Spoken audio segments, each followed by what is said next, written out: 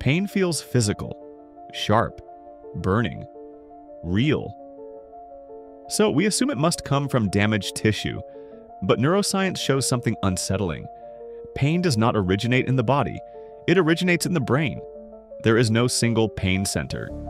Instead, pain is constructed by a distributed network called the pain matrix. This network includes the thalamus, somatosensory cortex, insula, anterior cingulate cortex, and emotional processing regions. Together, they decide one thing. Is this sensation a threat? Nerves in your body do not transmit pain. They transmit signals, pressure, temperature, chemical change. Pain only appears when the brain interprets these signals as dangerous, and sometimes, it makes that decision without any injury at all. In conditions like phantom limb pain, the limb is gone, but the pain matrix remains active. The brain still expects input, so it generates pain internally. This happens because the brain prioritizes prediction over accuracy. If your brain has learned that a region is dangerous, it will produce pain to protect you, even when the tissue is healed.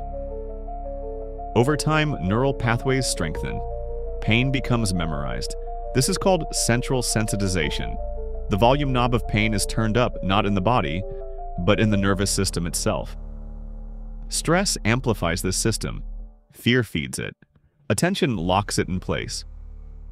The pain matrix does not ask if damage exists. It asks if danger is expected. That's why imagined pain and physical pain activate the same brain circuits. The brain cannot tell the difference. Pain is not a measure of injury, it is a measure of perceived threat.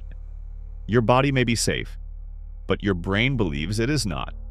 And when the brain decides danger is present, pain becomes real, with or without damage. Pain is not lying to you. It is protecting you based on flawed information. Until the prediction changes, the pain continues, because pain is not in your body. Pain is a story your brain is telling you to keep you alive. Don't forget to like, subscribe, and hit the bell for more amazing science videos.